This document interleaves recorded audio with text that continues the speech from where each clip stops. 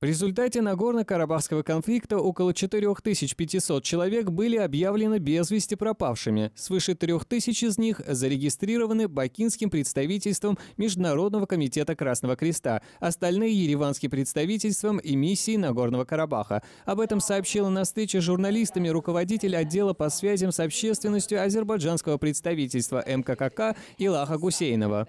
Она отметила, что 80% этих людей – военнослужащие. Комитет придает огромное значение сбору информации о пропавших без вести во время армяно-азербайджанского Нагорно-Карабахского конфликта.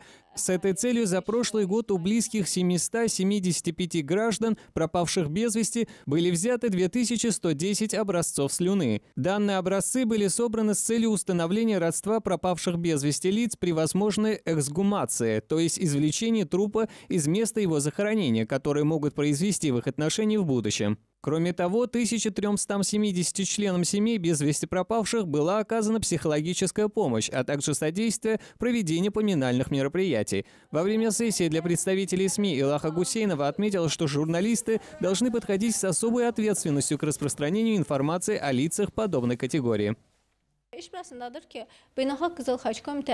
Дело в том, что МККК осуществляет свою деятельность в чувствительных областях. Мы работаем на территории прифронтовых сел, а также посещаем задержанных лиц. Журналисты доводят свою информацию до широкой массы людей. И было бы очень хорошо, если бы они стали еще больше разбираться в нашей деятельности. Эта встреча поможет представителям СМИ получить ответы на интересующие их вопросы, а также эти знания могут пригодиться им в будущей деятельности öz gələcək işlərində mən ümid eləyirəm ki, kömək edər.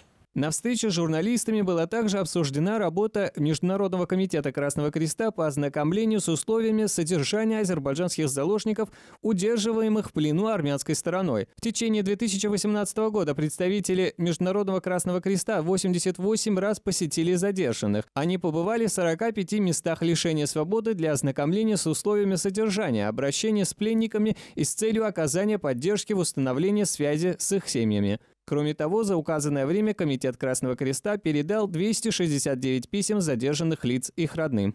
Шамистан Мамедов, Джавид Гадиров, CBC.